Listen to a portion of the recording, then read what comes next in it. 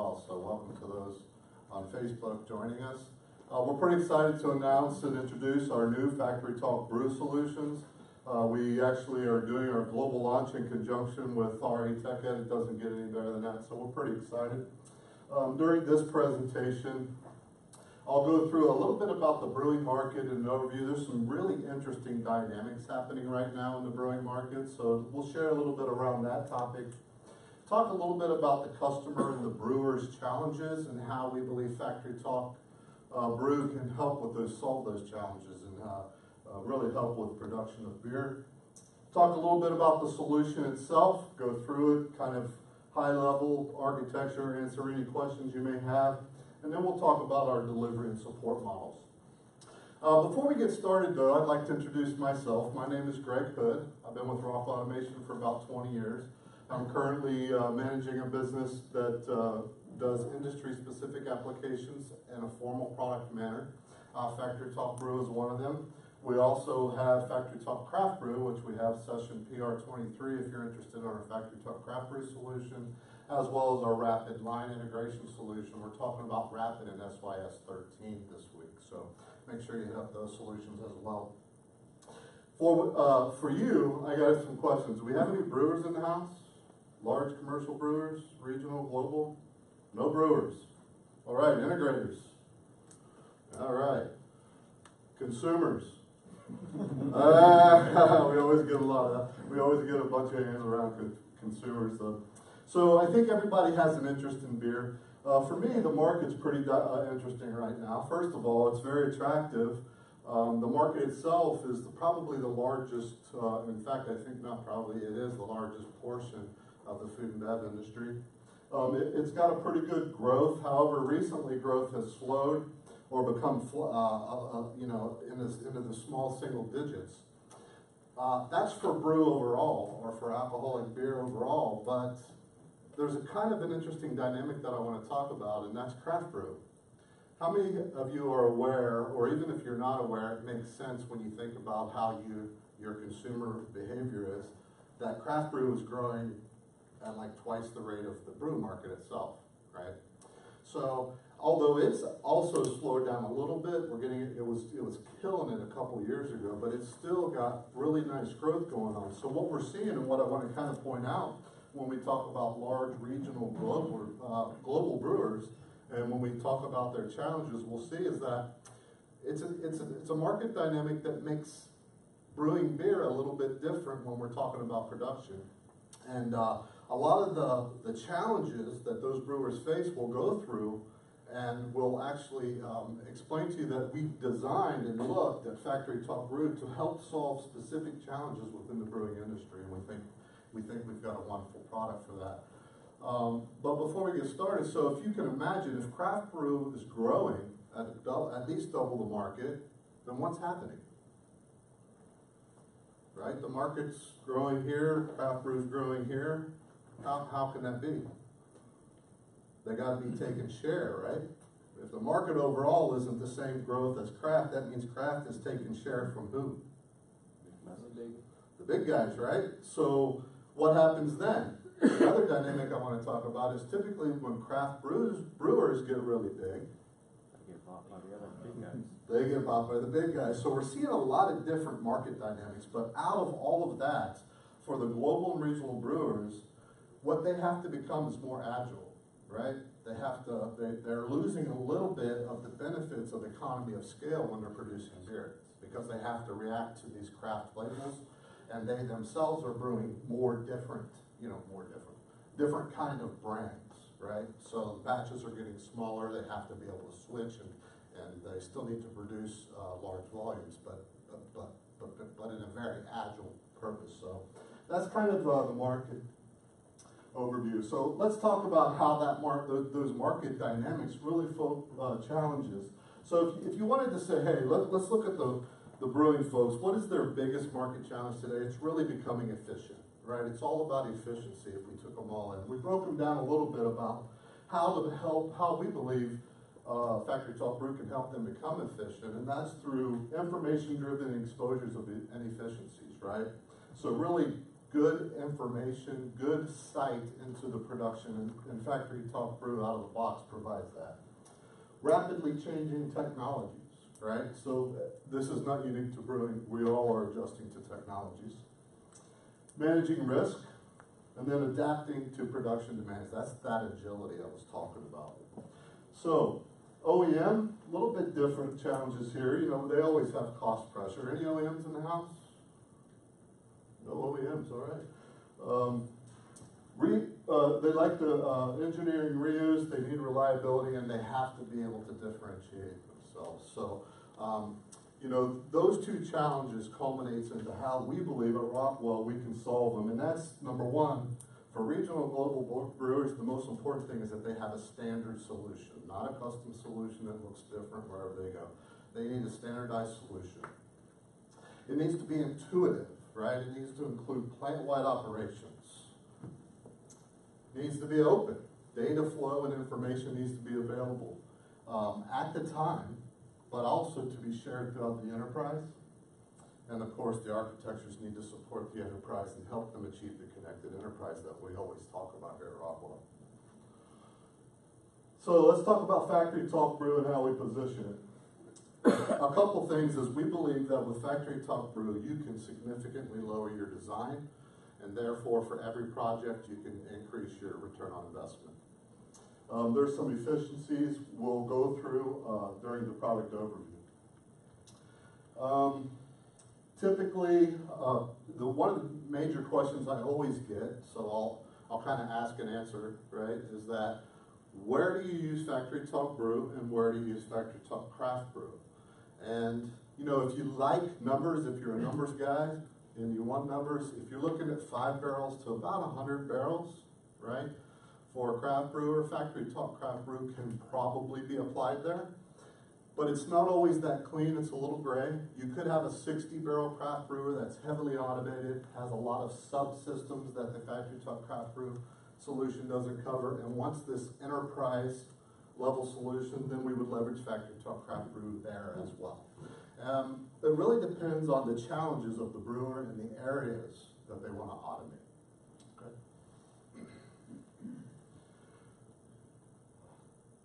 So from an overview, what, what is Factory Talk Brew after all? So it is a product solution, formal product solution from Rockwell. It's S88 compliant, standard module application at the control level, right? Uh, what's nice about Factory Talk Brew is it's not a software solution, it's not a control solution, and then you bundle a bunch of stuff together and make it work. It's an actual solution that goes from the level three all the way down to level two, right? So um, it is an integrated server, uh, uh, server and controller-based batching and sequencing, okay? Um, doesn't need to have connection to the server to complete batches. So it, once downloaded and started, the controller maintains all that it needs to complete the batch. Um, it does eliminate the need for custom coding within Studio 5000 or Logix at all. No need there. It's really a configuration-based solution and we'll get into how that, how that happens.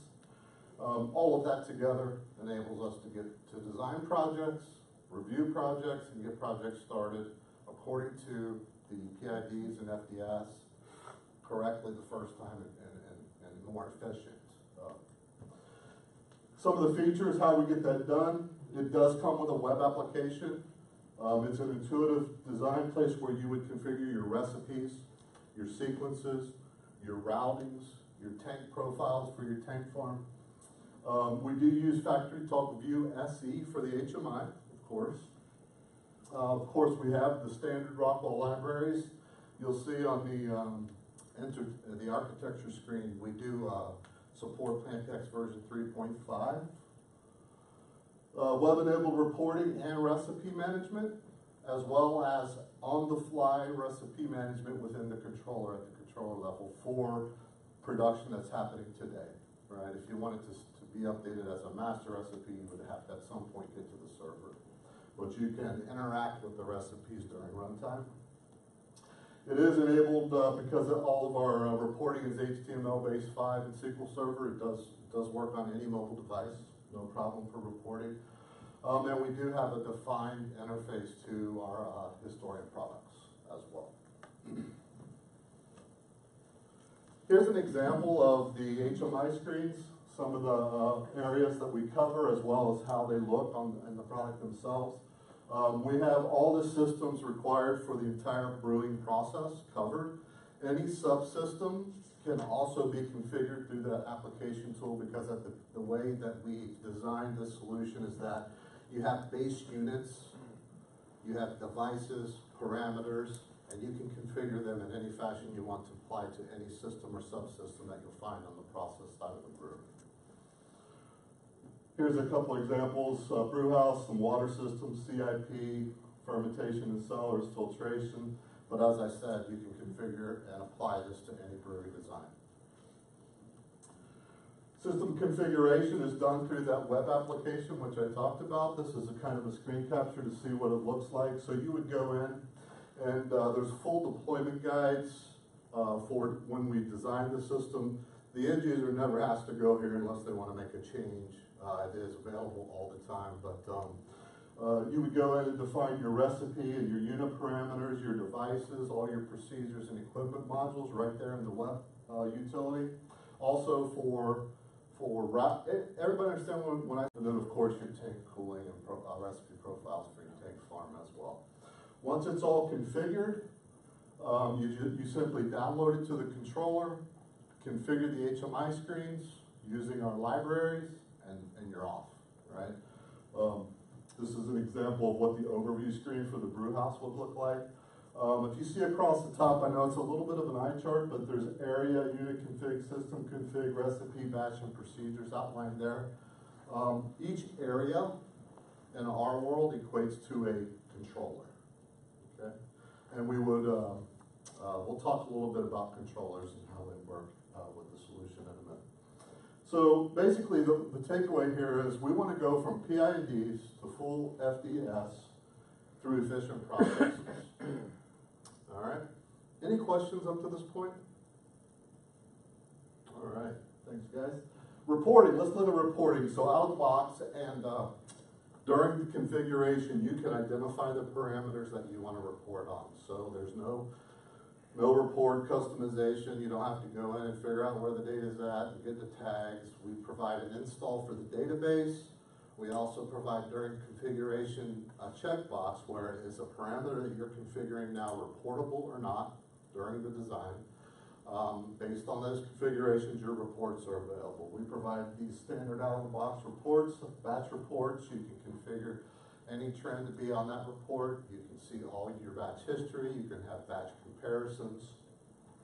CIP reports, again, configurable for any trend during that uh, design phase, which I spoke about earlier, as well as tank cooling reports. Uh, as always, though, live trends are available in the HMI as well. System architecture. So factory talk brew, uh, web application uh, is, you, you know, it'll run on either Internet Explorer, IE, or Chrome. I think uh, IE is version 11. SQL Server 2012 or above is required. PlantPAx version of library that we talked about earlier, that's version 3.5. We also support USC version 8.1 and above. From a controller's uh, prospect, L74 or above is what we recommend. V24 or above is supported by Factory Talk Brew. One thing about controllers we do recommend, uh, not so much technically, but for ease of management, a controller per process area. Um, but the real constraint there is controller memory. So if you wanted, wanted to, you know, if you could fit, depending on the brewery, the brew house with the grain handling, you can actually do that, right? It's not a technical limitation, it's just a recommendation for, uh, system management. From an IT computer server requirement, we follow the same guidelines for factory talk brew, uh, brew that we do for PlantPAx, right? So refer to the PlantPAx manuals, pages twenty-seven to forty-seven, and it had lists out all the IT requirements from the, on the, uh, computer side servers. Optional components that can be used, you can leverage our PlantPAx virtual image templates, as well as, uh, Factory Talk Historian version four oh, as I mentioned earlier. Any questions about the architecture? I knew there was. Yes, sir. Um, how are you gonna keep up with changes on PlantPAx releases uh, tied into this solution? Uh, like the 4.5 is coming in a Yes. month. Yeah, so what we'll do is we'll lag component releases, just like PlantPAx lags view releases, same thing. Mhm. So we'll pick up, you know, we'll try to pick up based on functionality, and, you know, we can pick it up typically ninety to six months after release. We go through our testing, formalize it. Sometimes there'll be a factory talk brew release to include component upgrades if required, but sometimes it'll just be a supporting notification that, hey, Plant X four point five is supported by the current version of Factory Talk. Brew. So that's how we handle that. Any other questions about the architecture? Anything that I've talked to this far? Any questions online? Not so far. All right, let's move on then. So how do we, how do you get it? How do you deliver it? So we are delivering Factory Talk Brew ourselves. Um, Rockwell Automation has over fifteen years in brewing. Um, although this product is new, a formal product is new for us, we have been doing breweries for a long, long time, right? So it's just been custom solutions. Uh, now we have a formal product solution. We'll deliver it. Um, the delivery will be, each delivery method will be determined regionally, right? Uh, for, uh, certified SIs, SPs, or OEMs, that'll be determined. They will be select and they'll have a criteria that they have to conform to. Um, we will provide detailed PFDs and FDs to the brewers. Um, we actually, as part of the product release, we have a lot of documentation that helps manage the project flow as well. What do you need to get started? PIDs, interviews with the brewmaster. What, you know, at this phase, what do you do? You create the, you set up the configuration of Factory Talk Brew, um, web utility, you go back, you verify FDS. The- We, we, we've kind of outlined the project flow, and we'll provide all that. Uh, From a documentation standpoint, just like any other product, there's a user manual. Uh, For design and deployment, there's also a deployment manual that I just talked about where we give guidance on project execution. Because as, you know, it's not a shrink wrap product, it's an engineered product, and so delivery is as just important as the product itself. So we wanted to make sure that we have everything covered so that we can guarantee great customer experience with Factory Talk Brew. How are we gonna support it after the project's over? Uh, through our Tech Connect program, we will be offering an application level support. Um, this will be the only option for Factory Talk Brew. It is optional. We highly recommend it. Um, our folks over in, uh, in our uh, tech support community will have intimate knowledge of the application and be able to provide specific, uh, support for our customers.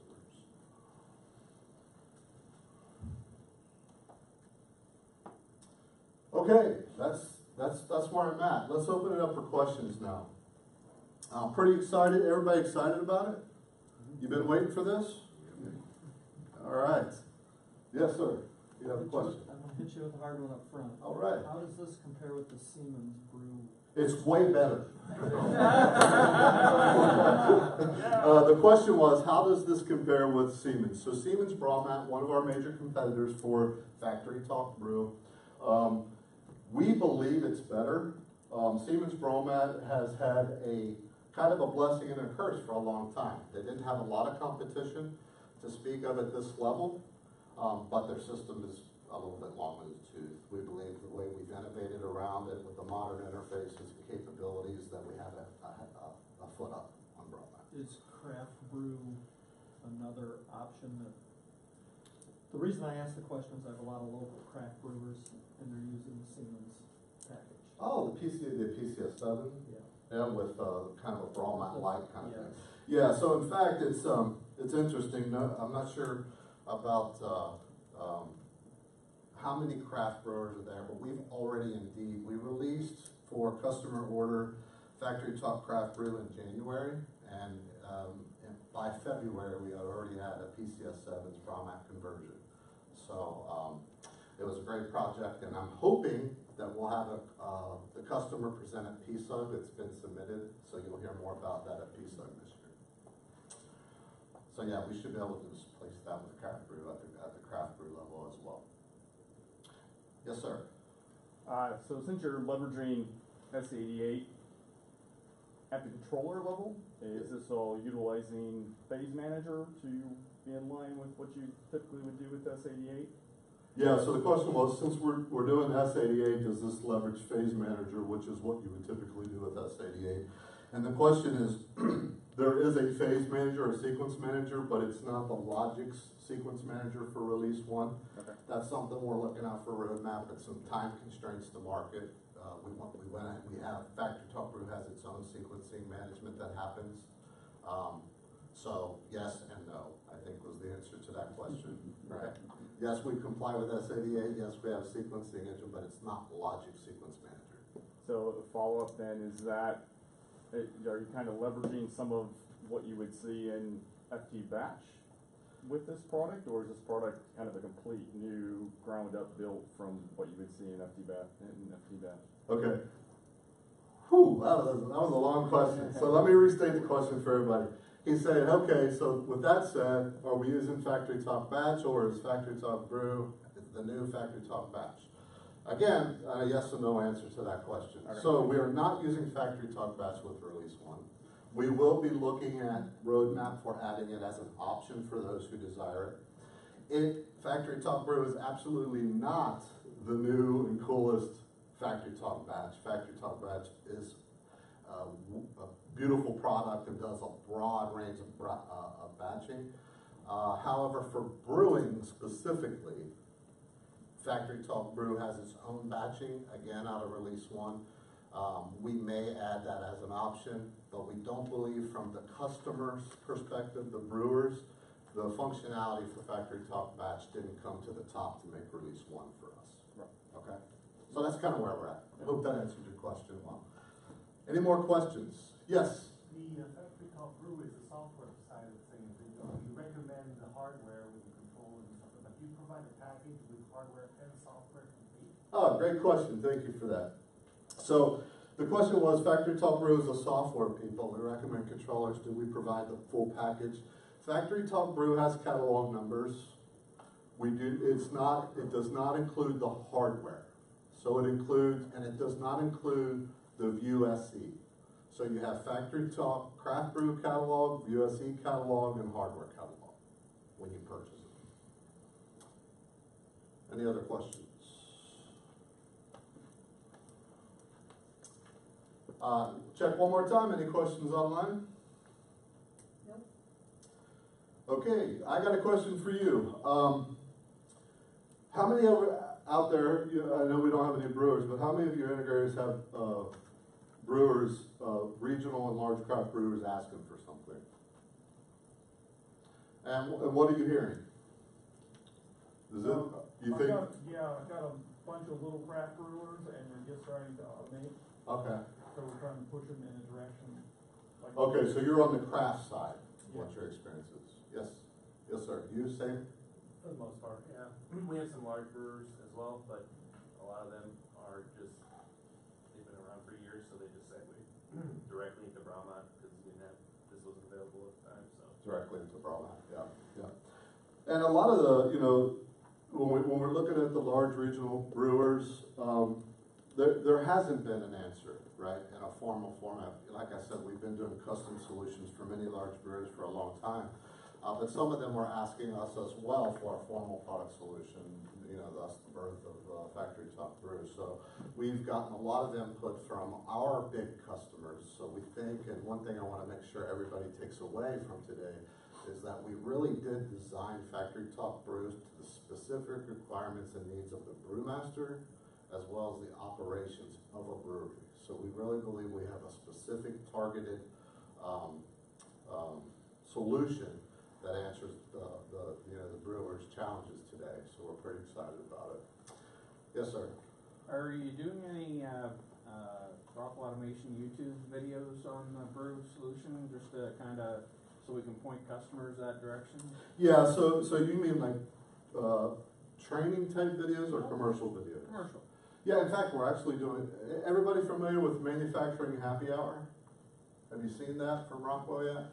go on YouTube and search manufacturing happy hour. It, there's, uh, uh, and I, I know I'll mess his name up, but uh, one of our sales guys out of the West region has kind of started this up. It's a great, he does about five minutes with two guys sitting down enjoying happy hour talking about a specific product from Rockwell. And we're going to be doing that with Factory Talk Brew and uh, Craft Brew, so you'll have that.